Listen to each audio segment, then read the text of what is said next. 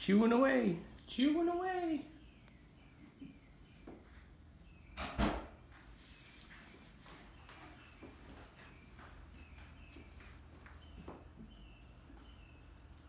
Penny, what can I do to help you out?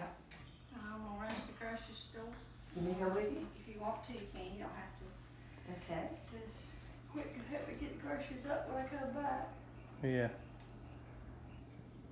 I'm gonna play with Finn. That's all make You're in charge. Yeah. You're in charge, mister.